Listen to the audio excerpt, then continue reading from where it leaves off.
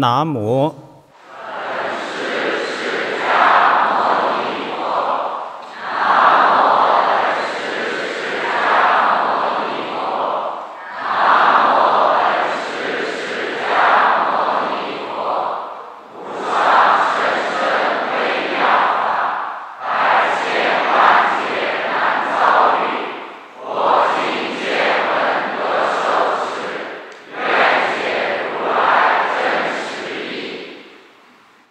佛说无量寿经，诸位大德比丘，诸位居士同修，请看经文：视线算计，文艺色欲，博中道术，观念群集。好，先看这几句。八相成道是彰显了一位。从果向因的菩萨的大慈大悲，为救度众生故，同时也处处显示出游戏神通的智慧威神之力。这个全过程都是为我等凡夫展开的一种全新的生命价值取向。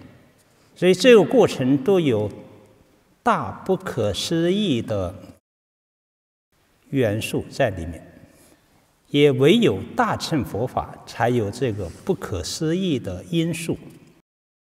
好，前面曾经对出生相有表达，就是以释迦牟尼本师来做一个个案来表达。他从斗塞内院下来，显现的是六牙白象的神识之相，来在摩耶夫人的右胁露胎，在南皮尼无忧树下出生呢，也是非常奇特的，是从右胁。出生了，出生视线的那种大丈夫的勇猛之力，不经人扶持就能够东南西北各走几七步，啊，显现天上天下唯我独尊的那种威力。以及全过程都由天人来护佑，天人归养，就是四天王天、刀地天乃至大梵天王都纷纷下来奉侍这位即将成佛的最后生的菩萨。好，这是前面讲的出生相。那刚才念的这几句属于童子相。这位太子在前面的八年，就从一从出生到八岁，都是显现无忧无虑的啊，这个玩耍之相，在花园里面跟诸多的童子童女。啊，进行种种的游戏，羊车、鹿车，啊，聚沙围塔，散花歌舞，啊，非常的天真烂漫。这个过程实际上是把一个童子的天性发挥出来的一个过程，能增长智慧。所以从这里也可以看出，我们现在怎么教育小孩子啊？你不要让小孩子过早的背上沉重的书包，去学成人的东西。该玩的时候都要玩了。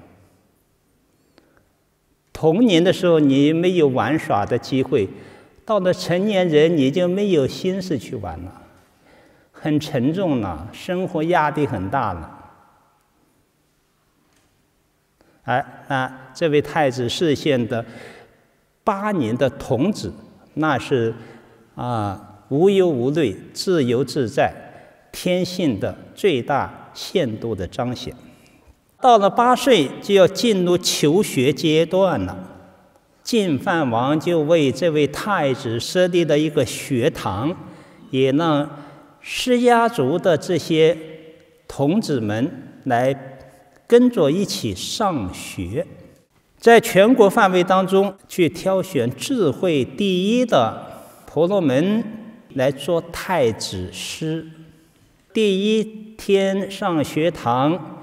这位太子就拿手执金笔啊金简，就问这个老师，那老师叫玄友啊，呃，今日老师呃准备教我什么书啊？啊，那老师回答有凡去流来相教，这个。太子就说：“这种书有六十四种啊，你老师怎么只谈前面两种呢？前面两种是范书、去留书。”这位老师也被他问问懵了。哦，还有六十四种，那是哪六十四种啊？啊，这位太子就说出来了：有范书、去留书、负重书。祭间书、龙鬼书，乃至观空书等等等等，哎，六十四种书全都把书名说出来了。那六十四种书以什么来相较呢？这位太子是一听，深深惭愧，这个学生教不了了，啊，啊，就对晋范王说。太子是天人中第一之师，我怎么能教得了他呢？所以这位太子是所有的学问通达，只是视线，这叫生而知之。那视线一些什么通达什么呢？算计，算计就是现在的数学。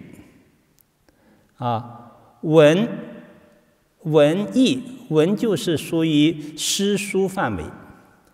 艺就是各种才艺，射就是射击之术，御就是御车御车马之术，这些也相当于中国古代讲的六艺啊，礼乐射御书数。如果在古印度是是谈有五名，五名就是声名，是谈文字学的。工巧名是属于啊技术层面的，医方名是属于养生医学方面的，阴明是属于逻辑学方面的，内明是属于心性修行方面的。这位太子对种种的记忆典籍一一通达，上通天文，下通地理，凡是一些道术啊，就是。民间的那那些，比如占星学啊、堪舆学啊，啊，这个各种咒术治病呢，各种占查看相啊，哎，这位太子都自然的了之啊，所以这就是博博中道术。博就是他的知识面非常的广博，无所不知。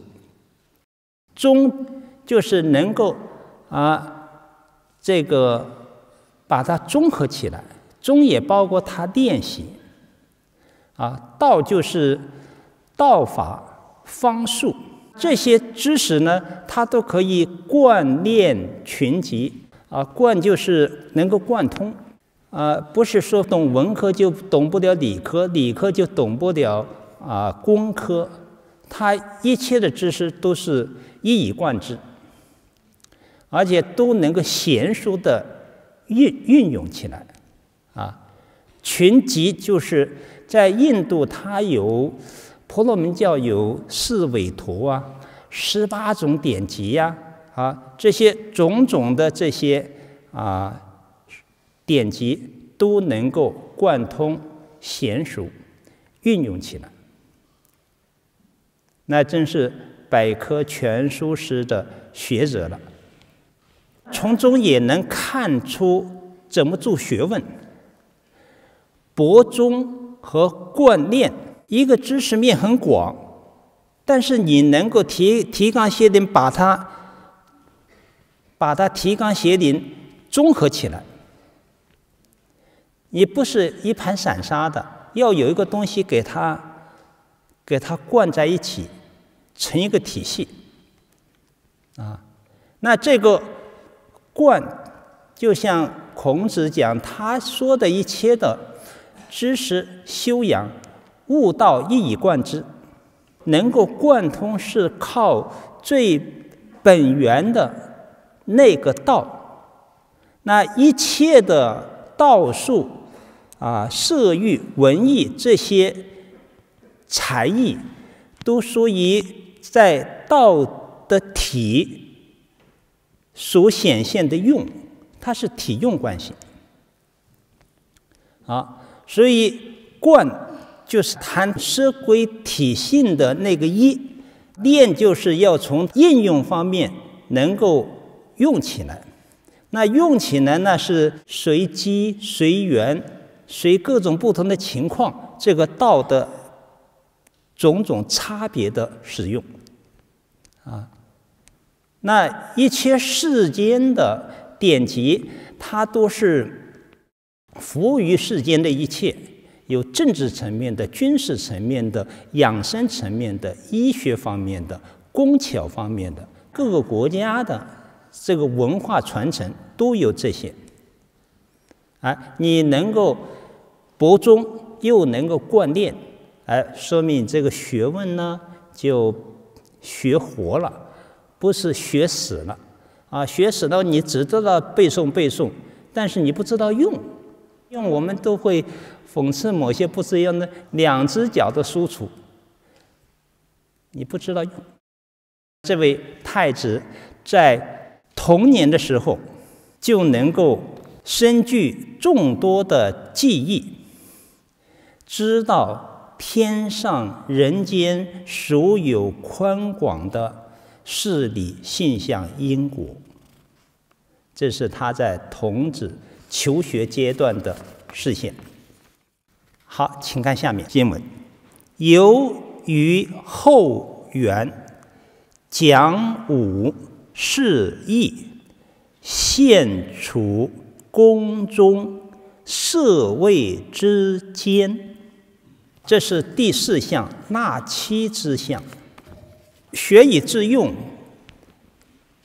就是啊，作为刹帝利的王族，他是很注意接班人的各种素质的培养的。啊，不仅是有。治理天下的文方面的，更要有保家卫国、征伐的这种武艺方面的，尤其更注重武这一这一面。由于后援就是指这个城外的一个圆圆，它可以是练武场的，讲武示义，在这位悉达多太子。这里大概有过两次比较大的这种比试，不是说你啊自我夸耀我我第一的，那是要有比赛的，要争格的啊。那十五岁的时候，这些施家族的这些童子们。已经从八岁开始学，学了七年了。晋范王和他的几个弟弟王就要看看他们的儿子们学的怎么样啊。这有一次比较盛大的讲武事宜，还有一次，这就是悉达多在到了十七岁的时候，就要议婚了。议婚，大家就推荐啊，邻国的执状王有一个美女女儿啊，耶稣陀罗啊，各个国家的王子都争相的这个求婚。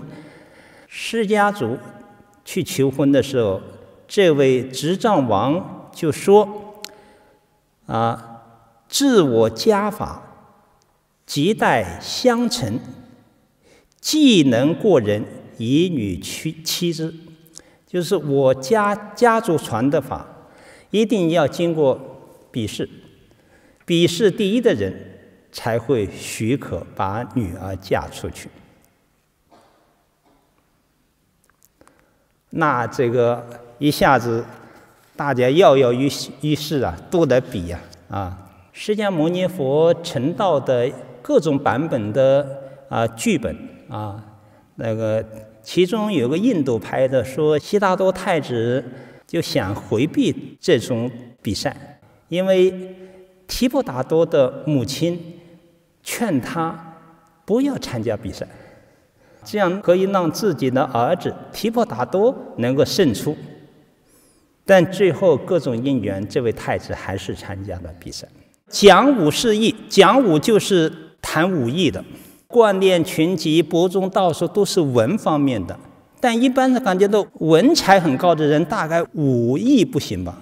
但为这太子武艺也高强，其中就谈到射箭，那射箭是用铁骨来比试这个力量，提婆达多和南陀都能够射穿三个铁骨，这位。悉达多太子拿弓箭，觉得弓箭还太轻了，一拉就拉断了。说从仓库把祖王的他祖先的弓拿过来，这个一般人拉不开的，这位太子拉开一射，七个铁骨射穿，而且还有于是往前，这个箭就落在了地上，形成一个泉，有时候叫箭井。有时候叫剑泉，那个剑落地，哎，那个形成一个一一泓泉水，啊，就叫剑泉。啊，以后得病的人喝那个泉水都能治病，啊。再就是比试的时候，提巴达多先出城，有一头大象当做这个门，提巴达多他就用拳头击这个象头啊。这个象头一下子就被击倒，有的说一拳就把这个象打死了，有的拳是打昏了。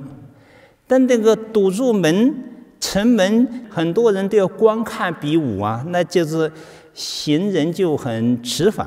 南陀是第二个出城，看到这个就用竹子呢把这个象移到了路旁。最后太子出城门的时候，看到大家都在。看这头象，这位太子就用手把这个象托起来，直往城外很远的地方。啊，那这里有两个版本，一个版本是打死了象，这个直直出去，这个象落地有个象坑。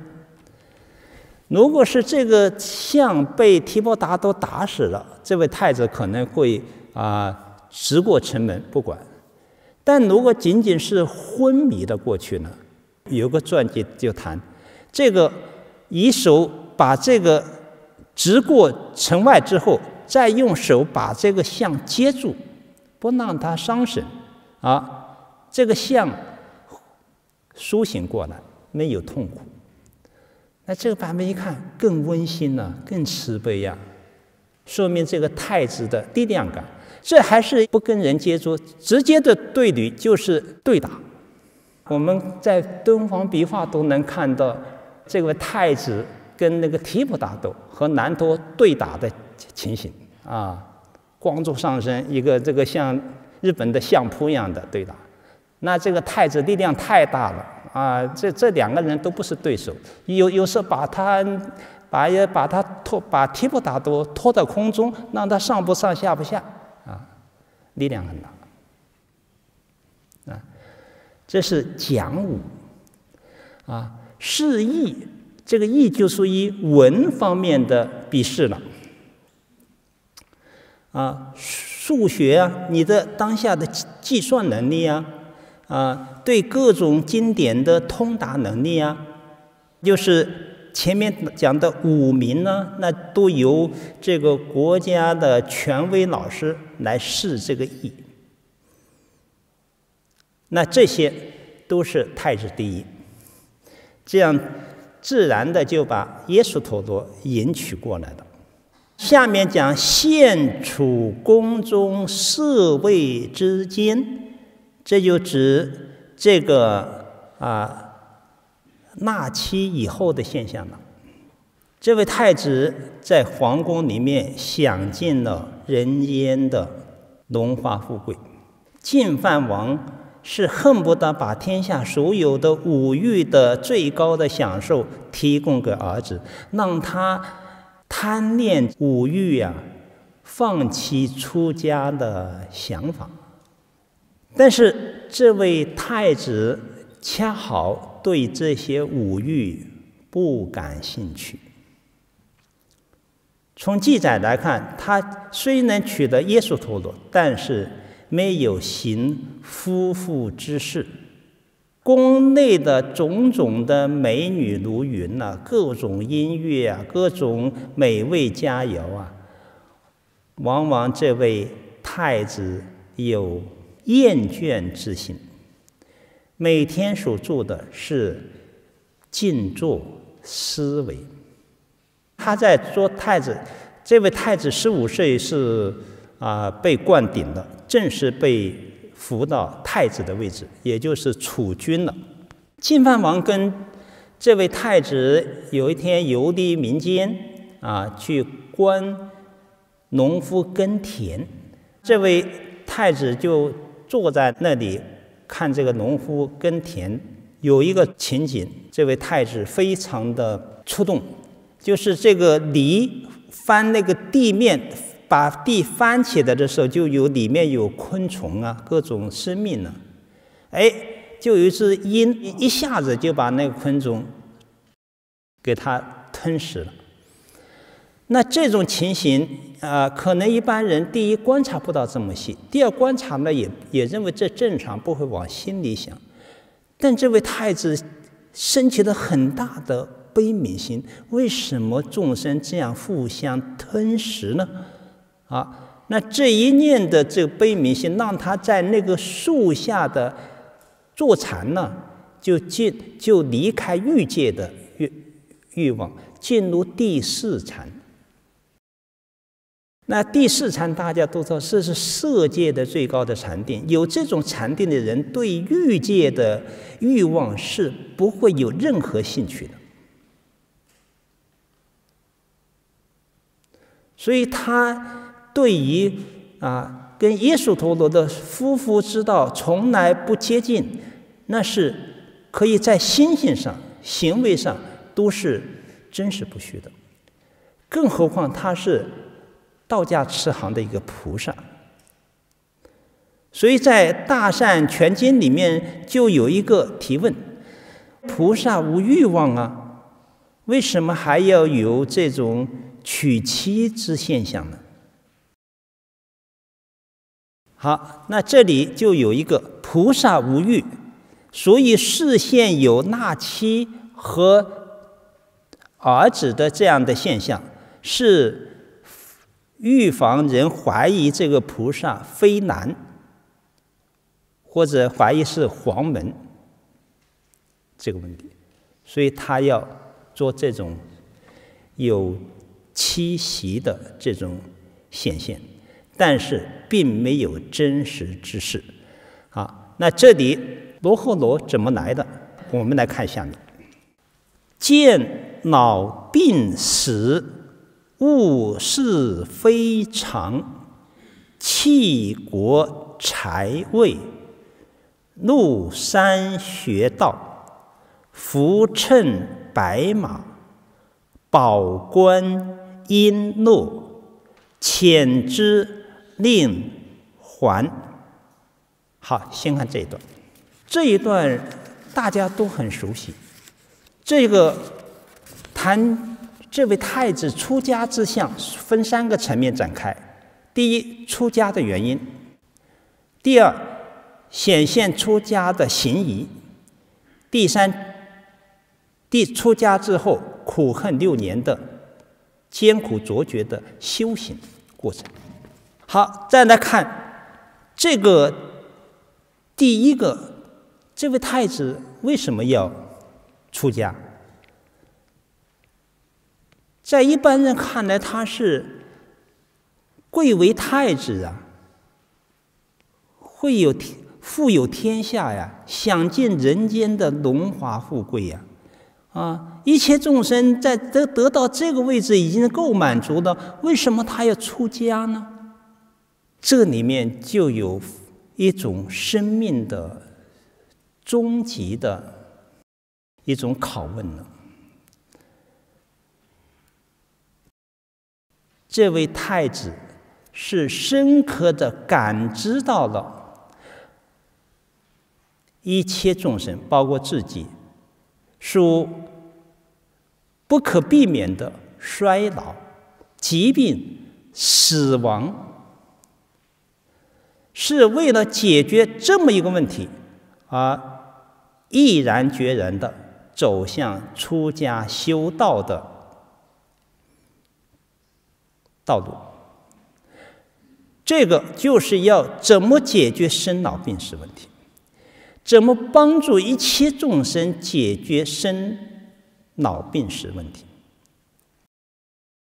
这是一个这个太子终极的出家的原因，也是一切生命当中永恒存在的、必须要破解的一个生命的难题。在各种经典记载，这位太子在宫中无忧无虑的啊，奢味之间呢，就世间就是女色美味呀，饮食男女人之大欲成焉呢，享受五欲最啊最好的地方，可就是皇宫嘛。但这位太子却。不感兴趣，这就是很奇奇特的现象了。净居天人也在陪伴着，隐形护佑他。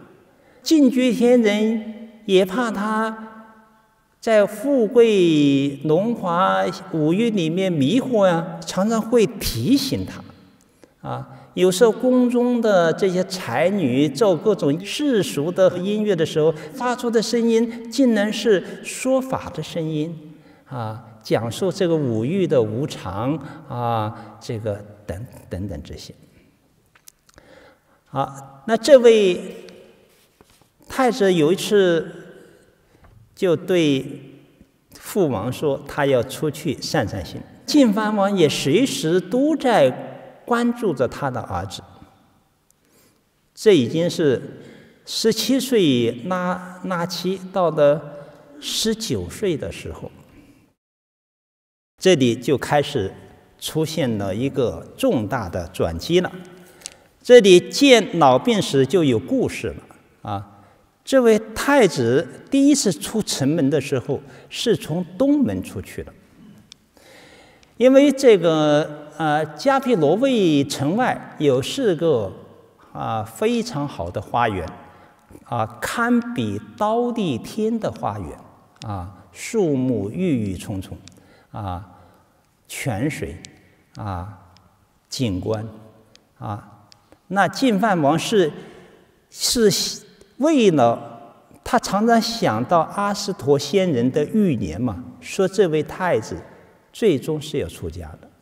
这是晋藩王最不想看到的，他是希望自己的儿子继承王位做转轮圣王的，所以他要想方设法让他的儿子不要看到世间上任何不好的东西，不要有任何诱发他修道的这种情景。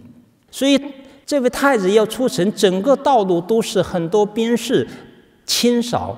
香花啊，床幡啊，全都庄严起来的。但是他不知道有禁居天人在暗中起作用。当太子啊坐着华丽的马车出门的时候，出城门不远，这进居天就变化成一个老人，啊，头发雪白，啊，驼背，拄着拐杖，气喘吁吁，那种衰老之相。太子从来没有看到这，哎，他就问啊，随从的人：“此事此为何人？”啊，随从人也得回答呀，他说：“这是老人呢。”那太子说：“何谓为老？什么叫老啊？”啊，因为他从小养养尊处优，没有接触这些。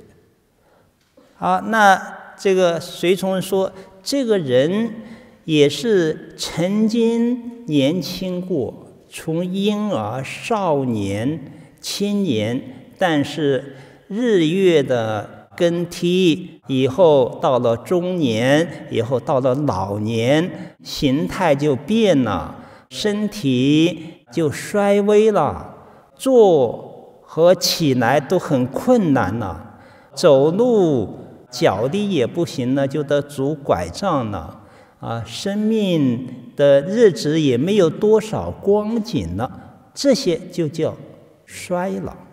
那太子又问：哎，就是这个人能衰老，还是其他人都都会衰老啊？那这个存着，一切人都会衰老。哇，这个太子一听，游玩。啊，花园的兴趣没有了，叫回车回去，郁闷、忧思，一切人都会衰老，我也会衰老。啊，这是第一次。啊，第二次再想善心的时候。是从南门出来，那晋藩王看到儿子忧忧这个忧闷不乐的回来，问怎么回事？哦，说碰到一个老人。那今晚怎么会有老人呢？怎么你们啊这个放松管理呢？怎么让衰老的人进来呢？啊，好，过段时间那到南门。这进犯王又下令啊，沿途严加管制，不能让任何不愉快、不吉祥的事情出现。从南门过去的时候，进居天又变化成一个病人。这个病人呢，那就是瘦骨嶙峋呐，气喘吁吁呀，面黄啊，无力呀，走路走不动，要两个人搀扶啊。哎，这个情形一看，这太子说，又问：“这是什么人？”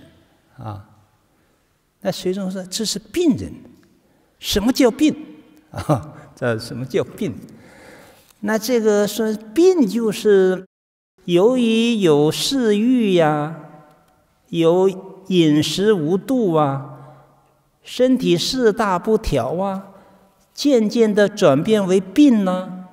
这一病就是各种肢节、五脏六腑都很痛苦啊，啊，吃也吃不好，睡也睡不好啊，这样，啊，虽能有这个身体，但是自生活不能自理呀，要靠他人来照料啊，才能坐起来行走啊，这叫病。哇，这个太子说，是。就他这个人病，还是一切人都病呢？唯此人病，一切人皆然吗？那随从者，一切人都会生病。于是这位太子又没有兴趣了，回车回去。好，这是第二次。晋范王又看自己的儿子郁闷不乐的回来，又更急了。到了第三次，他就派了一个。能言善辩的婆罗门叫优陀夷，让他给他做朋友，来劝勉他、诱导他享受人间的五欲。好，到了第三次，这时候游玩的时候是从西门走。那这次净饭王就高度警觉，这个做好各种管制等等这些。进居天这时候就有善巧方便，说这次我在视线让所有人看见，其他的随从可能要被净饭王惩罚了，所以为为了避免这个，净居天就善巧方便变化的这个使人，只让太子和优陀夷看到。其他人看不到，啊，一个使人有四个人举着棺材，有各种香花散布在尸体上，家属在那里号哭啊送葬，这个情景显现出来了。太子问：“此为何物？大家为什么要好哭送之？”这个话问了三遍，忧头也不回答，故意装着没看见，不回答。但是不是他不回答就不回答？近居天以天力逼他回答，优陀夷就情不自禁说：“这是死人呐！”那太子何为为死？什么叫死啊？优陀夷说：“死就是风刀解体呀，神识离开了，于是这个身体什么都没有知觉了。”啊，这个人在世间上啊，贪着五欲，爱惜所有的钱财，辛苦经营的一切，啊，就知道聚财，不知道死亡无常的到来。啊，一旦撒手，什么财物跟他没有关系了。啊，所以死了之后，就像草木啊。家亲眷属的恩情好恶也跟他没有关系了，死是人生最悲哀的事情。太子听到这个震撼性更大，哇！是就这个死是这个人只有死吗？其他人会死吗？那优陀夷说，一切世间人都会死亡。这里没有贫贱富贵的差异，没有一个人能够免免脱的。哇！这位太子闻到这个，那就是这个这个毛骨悚然了。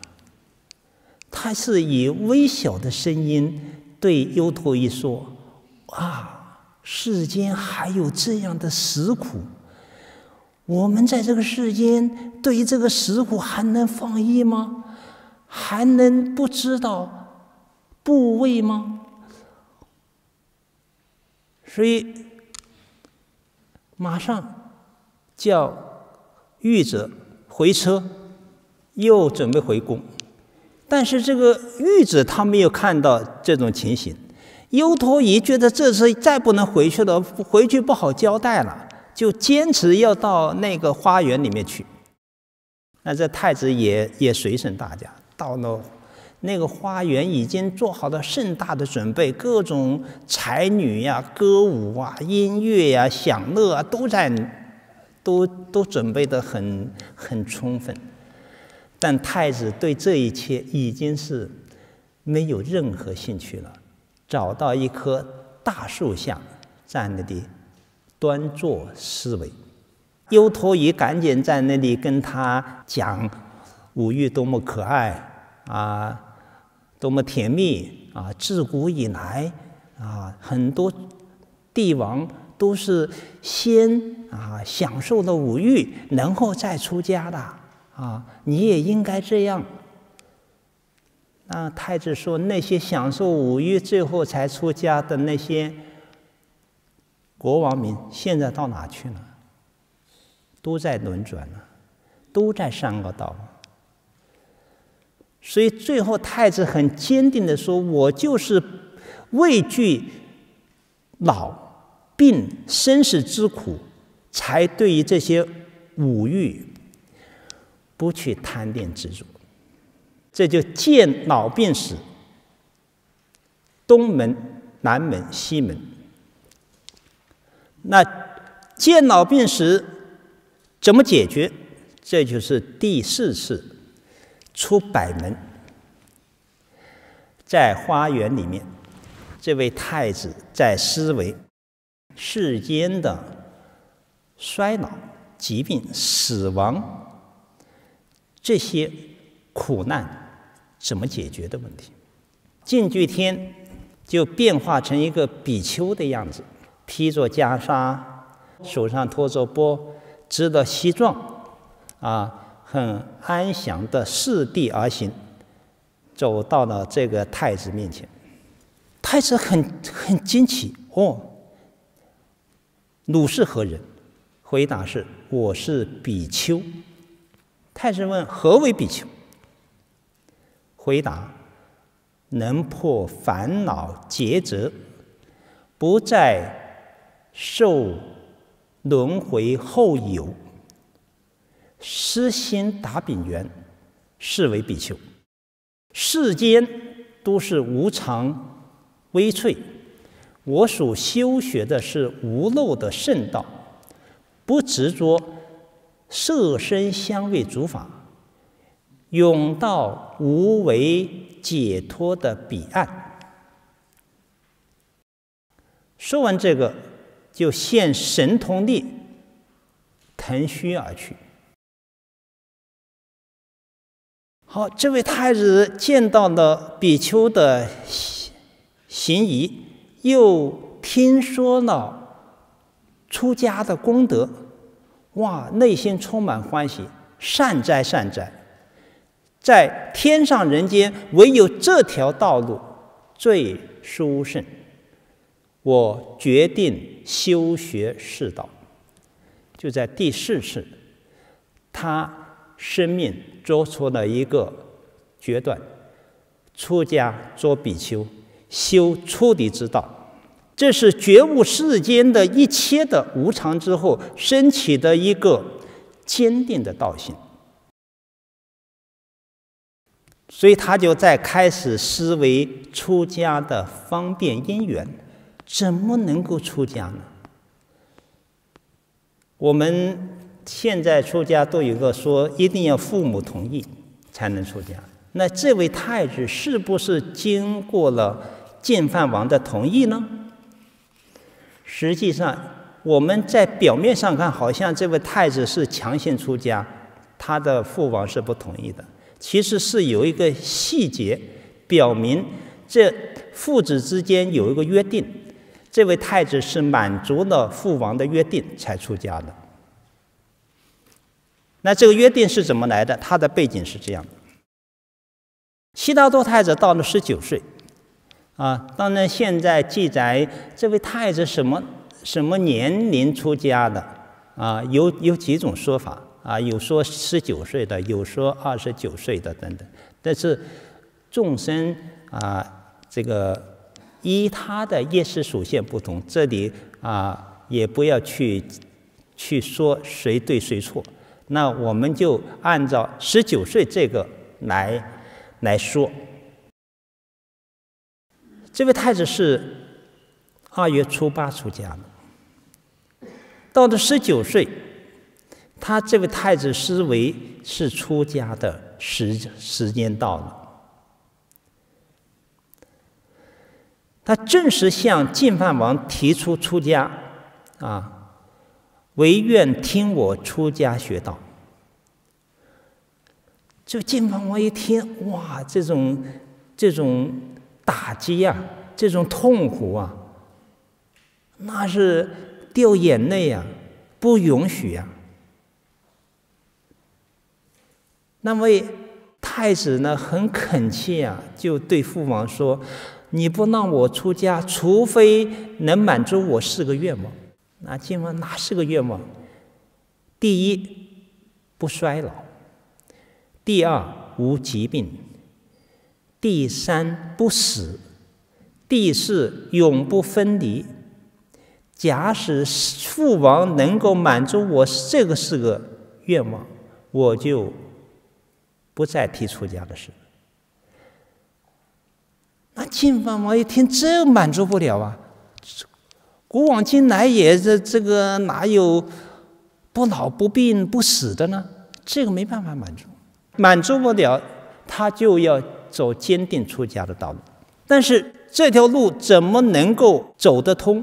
当时这个迦毗罗卫的很多婆罗门的相师啊，就来皇宫告诉净饭王，说这个太子已经十九岁了，如果过七天之后他就是七天他不出家的话，自然就能赶得转轮圣王位，七宝。转轮圣王有七宝嘛，自然就会到来。啊，这些婆罗门的相师就恭喜释家族兴旺发达。那净饭王听到这个很欢很欢喜呀。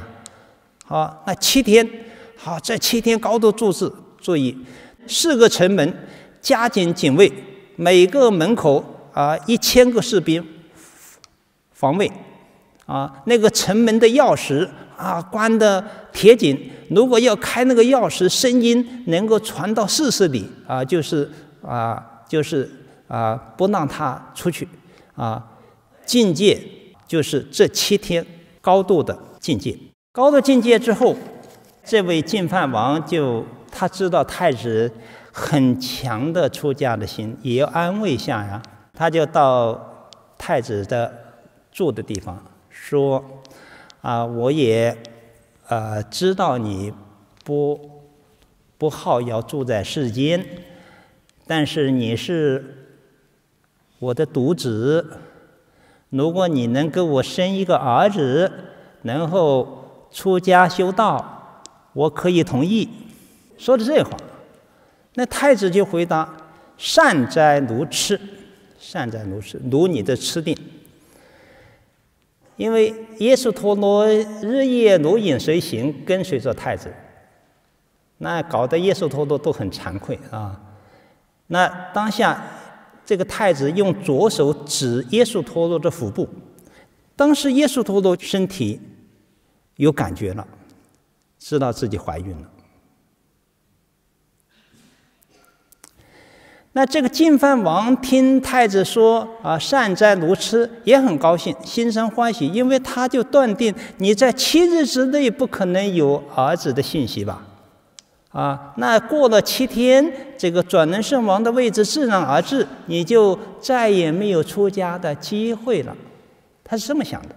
父王，你说呢？你只要给我有解决继承问人的问题，我可以让你出家。那这位太子就已经跟他解决了继承人的问题。在我们凡夫来看，一个怀孕，难道手手一指就有怀孕的事情吗？这就是生命的不可思议。你不要用我们凡夫啊，非得要啊这个这个夫妇之道，这个这个这个啊。就是不由父母和会而生育呀，这个在经典当中都有表述。那罗和罗也许就是变化而生，也许就是他们多生多劫的曾经的本愿所致。从《法华经》来看，罗和罗不仅是释迦佛的长子，乃至于衔接千佛，他都会做长长子的。生命的诞生，胎卵湿化。现在的技术，克隆就是无性繁殖。现在科技它也能做到这个无性繁殖。前二十年不是有克隆羊吗？既然有克隆羊，那克隆人又有什么样的技术上的问题呢？于是你想，这位呃太子手一指，耶稣陀罗就觉得怀孕了，不会有太大的奇怪了。这个出家，那就是二月初八了。那个这位太子，这种思维父王的愿已经满了，出家时候到了，就放光。净居天、四天王天都接到这个信息，纷纷过来。那城门把把守的很严密啊。那这个天人都有办法，天人他就有办法让这所有的人熟睡睡眠，就像孙悟空搞个抓把毫毛，念个什么咒，瞌睡虫来了，一耍，大家都睡觉了，啊，那就指令车逆牵马。啊，那车逆不敢牵马呀，但是天地所至，他又不知不知不觉的牵马，这个车逆就放声大哭。他想用哭声来来告诉工人太子要出城了，但是哭也没用，这些人都听不到了。逐天奉着白马士卒，刀底天王执着宝盖，是从北门出去的，北门自然的打开，自然没有声音，就从北门出去。天人帮忙，那个马跑得很快，似乎是临临虚而出，到。天亮的时候，已经走了三游旬，就三游巡，如果按小云行，也是一百二十里。有有的有的经本讲，一下子就离开迦毗罗卫城八百里。昨天把这个太子出家的事办完了，忽然不信。这桩事情给我们一切众生的生命的这种启迪是非常深邃的。我们。知道这位太子出家的原因是来自老病死，那表明这个佛教的存在就针对一切众生生命当中最本源的那个问题来建立的。为什么佛教在印度产生之后能成为世界性的宗教，就在于。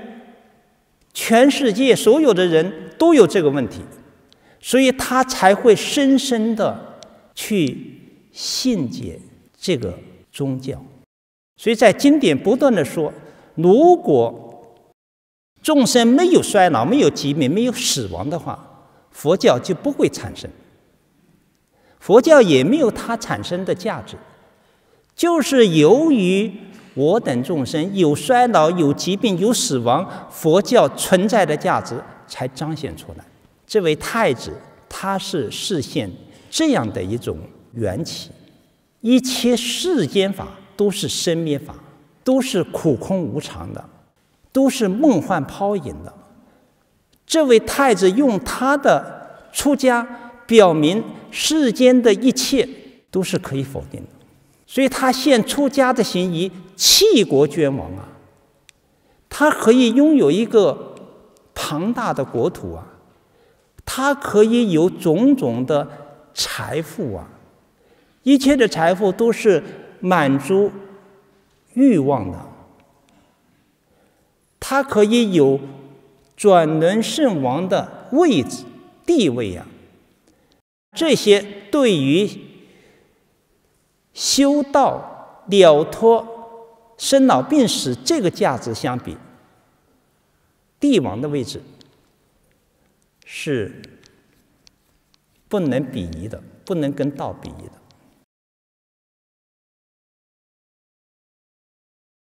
他就提供了一种生命的新的价值坐标。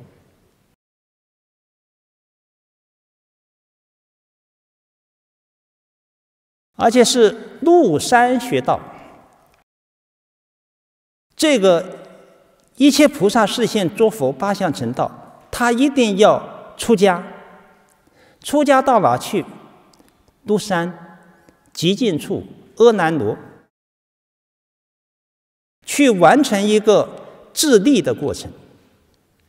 这个入山学道，所以并不是说，啊，是不是？又可以享受五欲做帝王，又可以做精神领袖做法王啊，商肩挑不是很好吗？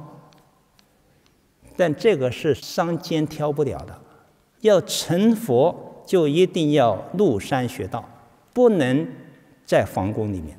皇宫是五欲享乐的地方，是政治经济角逐的地方，它是世间法的极致。扶乘白马，这位太子，他身上的衣服都是珍宝的衣服啊，很华贵呀。骑乘那种白马，见质啊，是马中之王啊。这位太子出去山游巡，就到了苦行林，第一站停下来了。停下来了，做什么事情呢？就是告诉车逆，让他止步，你可以回去了。车逆是个忠诚的仆人呢，对这个太子啊忠心耿耿呢，他很不想看见这位太子出家呀。所以哭哭啼啼呀，说我不肯，我怎么能放弃太子在深山、精致丛林、野兽出没的地方，让我回去呢？我一定要陪伴太子。但是太子不同意，我是要入山学道，不需要陪伴。你把马牵回去，把头上的宝冠，就是各种啊珍宝的那个。冠呢，拿下来，说这个交给父王，啊，致敬父王，啊，那那那个车逆说，父王如果知道你出家，那会悲痛死啊！一切世间都是无常的，我是要解决生老病死的苦难才出家的。所以你看，这一切的一切，这位悉达多太子是为了众生故啊，出家呀，把宝冠给他的父王，身上的璎珞脱下来，让他交给他的姨母摩诃波斯波提，再把其他的身上的其他庄严具脱下来，让他交给耶稣陀罗。这是他生命当中最关爱、最接近的四个人，啊，三个人，让他们不要担忧自己。他也是下定决心，如果不证阿耨多罗三藐三菩提，永远不会回皇宫的。任何的国王出家，不可能中途再回去享受五欲的，表达他坚定的意志，遣之令还。让车逆带着这些回国，车逆在这种情况下没有办法，流着眼泪，依依不舍，看到这位太子向深山老林走去，看不到背影的时候，才一步一痛苦的回到迦毗罗卫城，舍真妙衣而着法服，剃除须发。这是显现出家的行仪，要现出家相。现出家相，先是剃除须发。这个情节是在这个车尼还没走的时候，就用七宝的宝剑呢，就是那个那把剑是用七宝镶嵌的，把头发剃下来，剃除须发，表明断烦恼以及一切的障碍。把须发一剃下来，往空中一抛，刀地天王接到的这个头发，到天上去见他。舍之妙衣，再一看身上穿的衣服也都是啊高贵的啊七宝的衣服，这跟修道也不相应呢。这都有净居天在暗中帮忙，他需。要什么，马上净居天会配合的很默契，净居天就变化成一个猎人，身披袈裟。这太子一看，哎，你身上穿的这个袈裟，坏色衣呀，这是族服的标志啊，是修道的法服。你一个打猎的人，怎么穿这种衣服？这个猎人说：“我们穿这个袈裟。”野兽就对我们很很接近，我们容易捕杀它，因为功德衣啊，修道的标志，祝福的标志，慈悲的象征呢。所以那些凶猛的野兽看到披袈裟都不会去伤害它，那一些鹿啊，这个兔子啊，野兔子看到袈裟都会是主动接近它，啊，亲近它。哎，这个猎人正好。得利益了，啊，是这样来披袈裟。太子说：“你这个披袈裟是修道使用啊，你来造恶业，这可不好啊。这样吧，我们来交换一下，我把我身上的衣服来跟你冒于你身上的衣服。这个列师也很高兴，同意了。太子身上的衣服价值连城呢啊，那这个买卖那是真大便宜了啊，那就交换。这样的这位太子就披上了修道的袈裟，这就是而着法服，身上披着修道的袈裟。这也是过去、现在、未来诸佛所为的法事。请看下面经文：端坐树下，勤苦六年，行如鼠因，现五浊刹，随顺群生。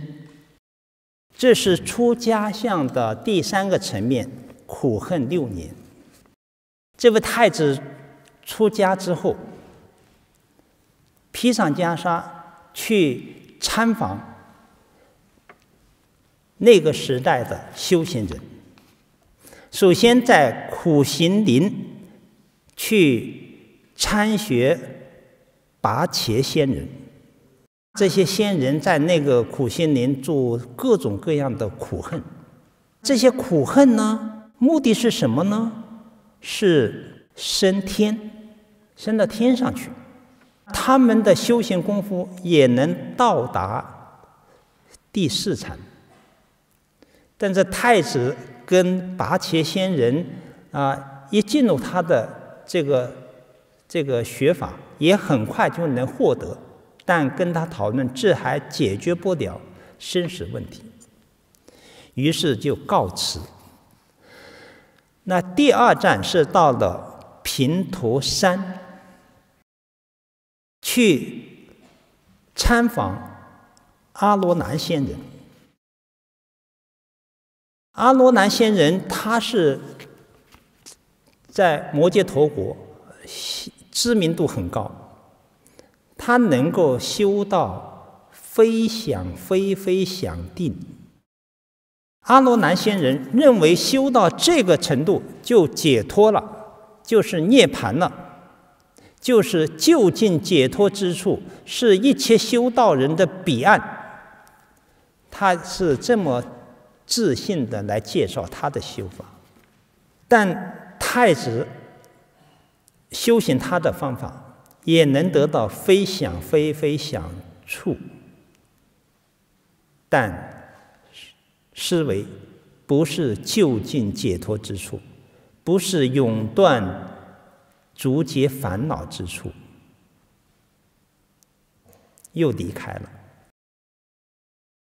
那第三位仙人就是迦南仙人所处之处，他们的修行范围都没有离开四禅八定。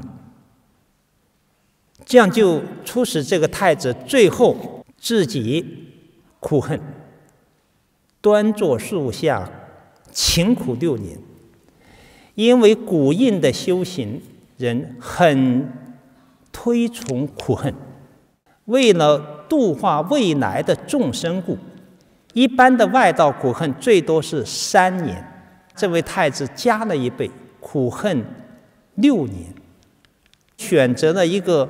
非常艰苦卓绝的苦恨方法，就是饮食方面，一天一麻一麦。我们看这位太子苦恨六年，那个雕塑那是瘦骨嶙峋，但是眼睛还是非常坚毅的。这勤苦六年，行如属阴，就是他的行持要。在世间的修道人说应该这样做，他如果不走这条苦恨六年的道路，以后教化这些外道的苦恨行人就缺乏说服力，而且认为你这个太子就是养尊处优，修不了苦恨，那这太子竟然艰苦卓绝的修了六年的苦恨。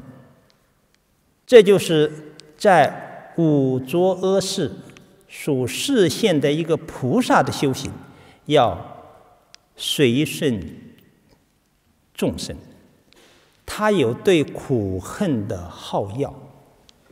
那也确实一种宗教，如果他追求安逸、追求享乐，他是在社会人群当中是得不到恭敬的。所以以后像摩诃迦叶行头陀十二种那种刑法，佛为什么会赞叹他？有头陀行在，我的正法才能存在。在这六年当中，有时候就基本上是没有饮食的，完全是靠一种意志力在支撑。当然，苦恨对于抑制一些身体上的欲望，也是有它一些功德价值的。随顺群生，你看现在的印度的很多。印度教的行人，有时在恒河边上都能看到托钵僧呢，苦恨深呢。因为婆罗门教讲那个人生四个阶段呢，到了六岁岁之后，他不管你是多么富有、多么有权势，都应该放下，为下一辈子做准备。这些人常常就是离开家庭，走。走进树林修行，甚至到处游学。啊，你只要到印度看看，每天早上都有很多的啊，披着长发啊，穿的很很男女啊，这个主根木壮啊，比较年老的修行的样子，面对着恒河的太阳。在念着他的一种什么咒，修苦恨的样子，他去托钵，大家都很愿意去供养、去布施。这种视线也在告诉我们：我们僧团呐，出家人一定要有一点苦恨的样子，不能追求安逸。不能追求奢侈，啊，苦恨包括节食，包括燃身啊，燃香啊，这个就行人所不不能行的，啊，腐烂药、白纳衣啊，把物质的生活条件降低到最低限度。不要太看重这个设科子，把这个身体维护的很好，这都是随顺群生，让他有一种恭敬心产生。所以佛陀的戒律就是很多是对治我们对物质，比如比丘戒，你没有对世间的那种追求，但是你可能会把这种贪心表现在饮食上。表现在衣服上，表现在房舍上，哎，都要一一的给他治断。这个五浊就是劫浊、见浊、烦恼浊、众生浊、命浊。是现在五浊恶世是什么情况呢？阎佛提的众生福报来的时候，所谓在贞洁的最好的时候，能活到。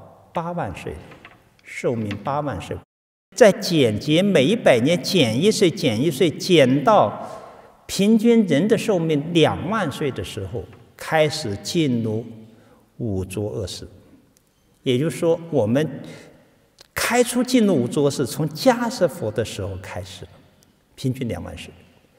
那次第的又寿命减减减，减到释迦牟尼佛视现成佛的时候，是人寿平均百岁。那释迦佛舍了二十年的寿命，给未来的修道人，人寿百岁的时候，这个五浊的情态更为深重，众生刚强难化，烦恼厚重，孽障很深。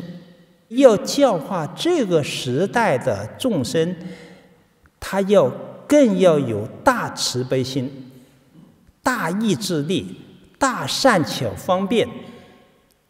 没有善巧方便是度不了众生的，所以这里要。随顺群生，那随顺群生包括他要施设的教法，都不是说佛想说什么法就能够说什么法的，他根基不到，他不能信解，你还得要由十法开全法。这《法华经》讲的由一乘法开三乘法。也是随顺群生的一种表示。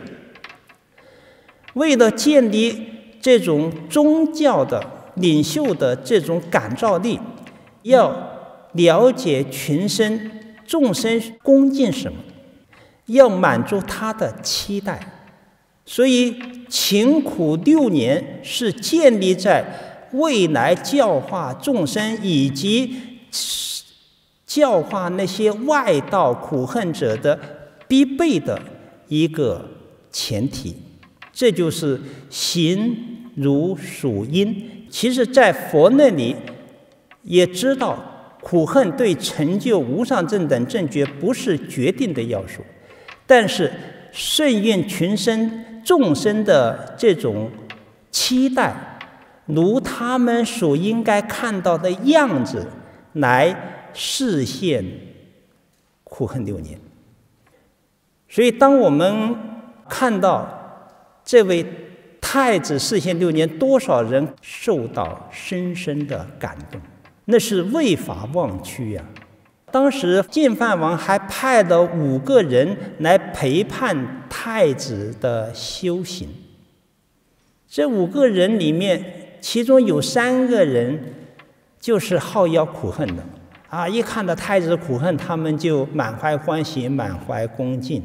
以后当这个太子啊放弃苦恨，接受牧女的迷路的时候，他们都认为太子堕落了，都离开了太子了。可见苦恨在当时人的心目当中具有多么重大的分量。好，这样我们今天就把这个悉达多太子出家的啊童子像、纳七像、出家像做了一个简单的介绍。好，南无阿弥陀佛。